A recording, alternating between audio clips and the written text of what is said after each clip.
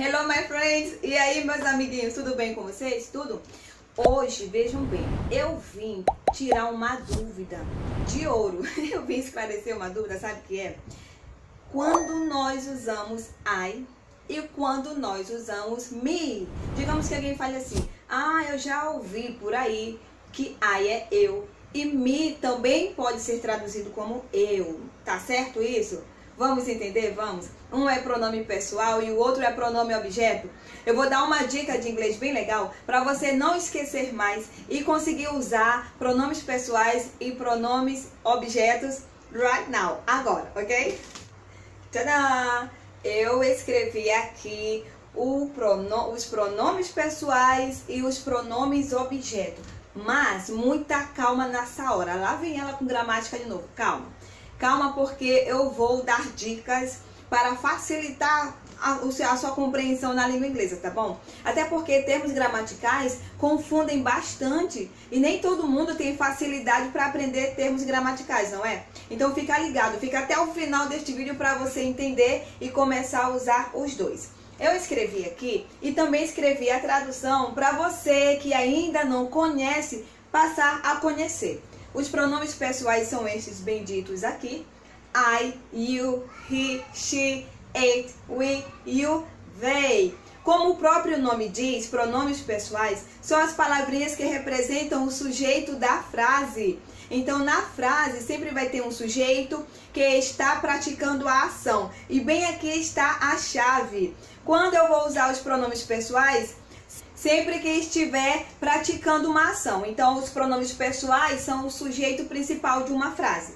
Eu vou escrever depois alguns exemplos para você entender melhor o que eu estou falando. Então, vamos gravar? Esses abençoados aqui são pronomes pessoais, eles praticam a ação e eles sempre vão vir antes de um verbo. Se você tem dúvida onde ele fica posicionado na frase, ele sempre vai vir antes de um verbo, tá bom? Lembra que eu falei que eles praticam a ação? Pois é, eles têm que vir antes. Agora, os pronomes objetos. Ah, tia, eu não sei o pronome objeto, nunca aprendi nem em português. Calma aí. Eu nunca aprendi em português. Vamos pra cá. Esquece essa parte, viu? Eu escrevi também a tradução para você uh, saber de que se trata. Mas não se prendam a esta tradução aqui. Você não vai ficar decorando essas traduções, até porque são várias. O que você vai fazer? Os pronomes objetos também se refere a sujeito, o sujeito de uma frase. Porém, eles são um sujeito secundário. Eu posso falar desta forma porque os pronomes objetos, eles sofrem a ação, gente. Tá bem aqui a, a diferença. Tá bem aqui uma dica legal. Pronome pessoais praticam a ação, pronome objetos sofrem a ação. E como eles sofrem uma ação, eles vão vir depois do verbo. Agora vamos ver a pronúncia de cada um deles, vamos? Me, you, him. Tem o M, fecha esse M aí no final, tá? Him, him. her, her, pra dentro, a língua bem pra trás, viu? Her, it, us. Aqui é um chuá, aquele bem aqui no final da garganta. Uh, us, you, them. Fechou também, letrinha M no final, fecha os lábios, gente. Fecha, them. Então, o que você vai fazer? Você não vai traduzir a tradução dos pronomes e objetos, não. Gravem o que? Eles são o, sujeito, o segundo sujeito de uma frase. Eles sempre vão vir depois de um verbo. E eu vou traduzir ele igualmente o pronome pessoal, com exceção do primeiro, que quer dizer me ou mim. Então, aqui o restante, você, ele, ela, neste caso aqui para coisas e objetos, tá? Igual aquele pronome pessoal as, nós, vós ou vocês, eles ou elas. Então agora eu vou escrever alguns exemplos para você compreender melhor o que eu estou falando, tá bom, gente?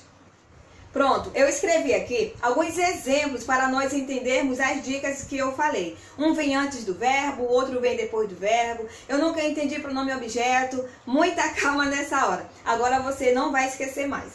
A primeira frase, acompanha comigo. We are playing with them. Nós estamos brincando com eles. Eles quem? The kids. As crianças, tá? We are playing with them.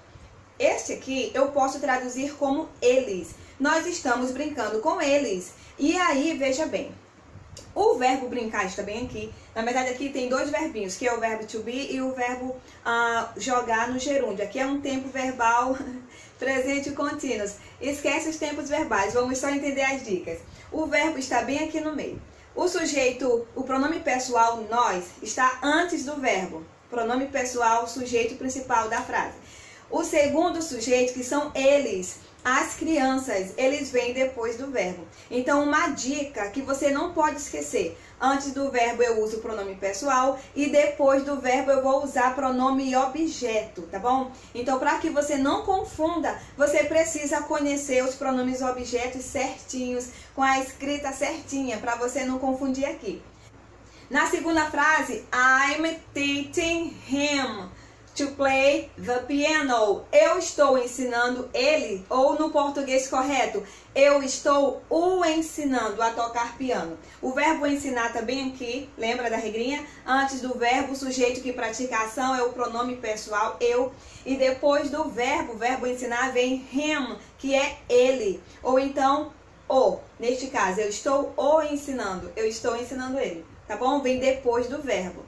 A terceira frase, gente, essa terceira frase aqui, I love you, muita gente, acho que, acredito, que acredito eu, que confunde aí os pronomes objetos por causa desta frase aqui. Por ver, eu amo você, de repente a pessoa acha que pode usar pronome pessoal no comecinho e aqui também no final. E não pode não, gente. Apesar de you ter a mesma escrita do pronome pessoal, mas aqui ele é um pronome objeto. I love you, eu posso traduzir como eu amo você ou eu te amo. Lembra? Você, te. Isso aí, eu escrevi aqui as traduções. Tá bom?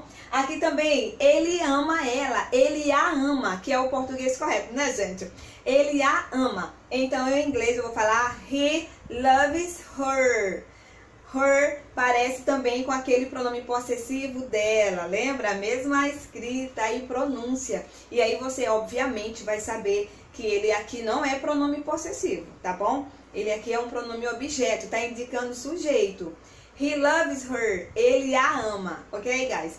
Então, meus amiguinhos, I love you, esse you aqui, ele é um pronome objeto. He loves her, aqui também é um pronome objeto, tá? A dica de ouro, o verbo está bem aqui.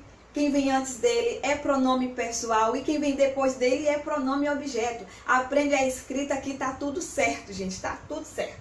Agora aqui, they bought her a new bike. They bought her a new bike. Eles compraram para ela. Neste caso aqui, ela, a menina, a filha, não sei, a, a criança. They bought her a new bike. Eles compraram para ela uma bicicleta nova, tá, gente? O verbo está aqui no meio. O sujeito que vem antes pratica a ação. O sujeito que vem depois do verbo, ele recebe, ele é o receptor da ação. Não tem mistério, não tem. Agora a próxima frase está no passado. Você conversou com eles? Hum? Você conversou com eles? Did you talk to them? Observa aqui o verbo talk que é o verbo conversar. E quando você pronunciar o verbo conversar, você tira esse L da pronúncia, tá? Tem um L aqui no meio. Ele é mudo, tira ele. Talk, talk. Did you talk to them? Did you talk to them? Você conversou com eles, tá bom? O verbinho, quem vem antes? Pronome pessoal. Quem vem depois? Pronome objeto. Entendeu, turminha? Aqui, guys, a próxima frase. Você me ligou? Oh my gosh, eu perdi tua ligação. Você me ligou? Did you call me? Did you call me? Me ligou? Que foi? Que horas foi? Eu não lembro. Did you call me? Did you call me? Este me aqui, até dá pra saber pela escrita também, nós vimos quer dizer me ou mim, tá bom, my friends? Agora aqui, por último, a última frase, meus amiguinhos. She took him to the train station in the morning. She took him to the train station in the morning. Ela, esse took é o passado do verbo take. É o verbo levar ou pegar. Neste caso aqui é levar. Ela o levou. Ou então, se eu fosse falar mesmo naquele português rasgado, ela levou ele para a estação de trem uh, de manhã, pela manhã, tá?